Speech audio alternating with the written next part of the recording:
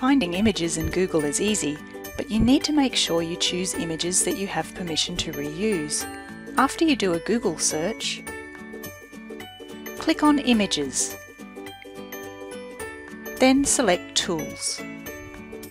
And under Usage Rights, click on Labelled for Reuse. This will show you images that you have permission to reuse.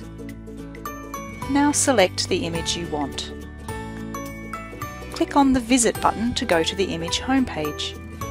This is where you'll find the information you need for your in-text citation and reference. Just under the author's name is the license type. This image has a Creative Commons Zero license. While attribution isn't required, you'll still need to provide a reference for your academic work. Make sure you read and understand the license conditions. Click on Learn More for further details on acceptable use of the image.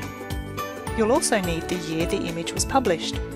Sometimes you can find this information at the bottom of the page. Now it's time to create your in-text citation and reference.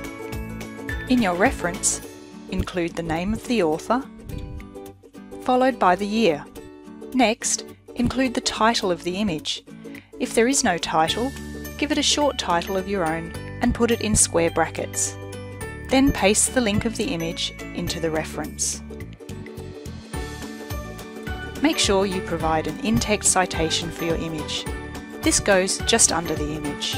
In addition to the author, year and image link, you'll need to include the type of license. You can make the font size smaller if you need to. Finally, remove the hyperlinks from your reference and in-text citation.